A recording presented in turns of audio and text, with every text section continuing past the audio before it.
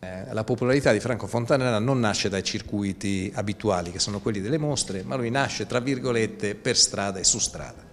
Sì, in effetti eh, io mi sono sempre venduto da me perché ho lavorato sempre con il cliente e quindi non, non sono passato attraverso la strada delle gallerie e quindi mi sono sempre venduto da solo nei miei negozi.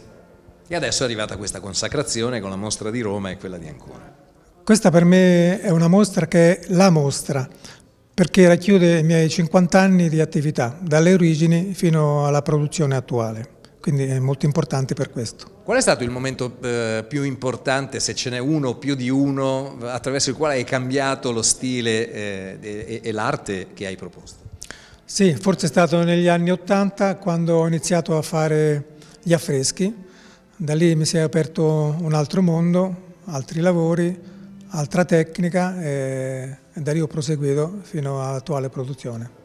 Come nasce l'idea di fare questi quadri sulla riviera del Conero che sembrano davvero delle fotografie? La riviera del Conero è una de, delle zone più belle di tutta, la, di tutta la zona adriatica, quindi è anche facile come soggetto quindi da, da Porto Novo fino a Porto Recanati, passando per Porto Novo, la spiaggia delle due sorelle, sono luoghi bellissimi sono già dei dipinti da soli.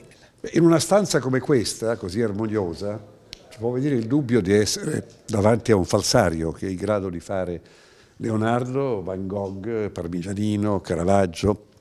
In realtà sono opere di Franco Fontanella, che sono certamente coppie d'autore ed indicano la dignità con cui un artista si misura con la storia, perché non puoi pensare di dipingere come se non avessi il passato alle spalle. Lui sente l'evocazione di questi artisti e la trasmette a chi ci guarda, a chi li guarda, con le copie.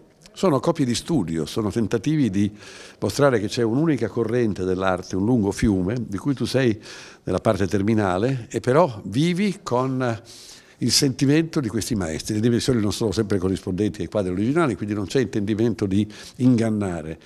C'è la volontà di far capire che la storia dell'arte è una sola e che tutta l'arte è contemporanea. Quindi questi esercizi sono per capire qual è il pensiero di Leonardo, di Caravaggio, di Van Gogh e elaborare il proprio in dialogo con loro.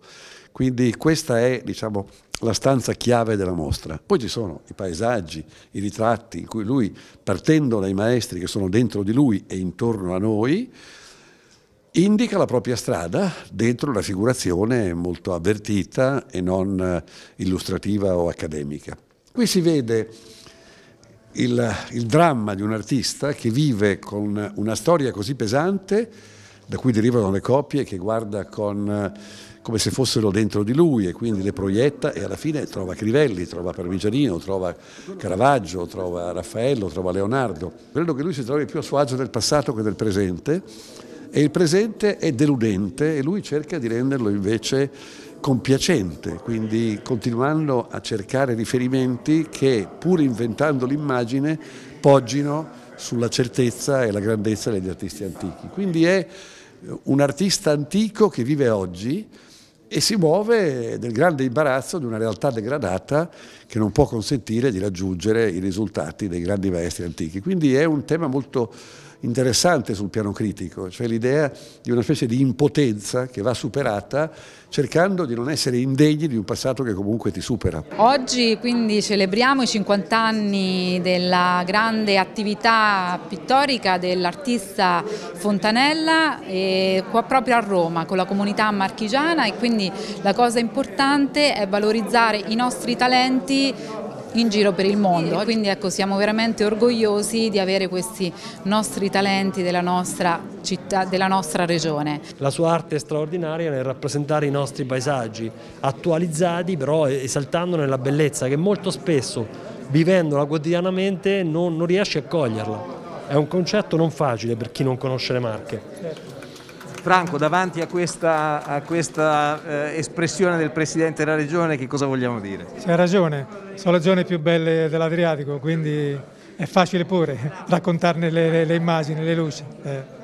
Diciamo che noi abbiamo l'originale Alconero che ci ispira tutti i giorni.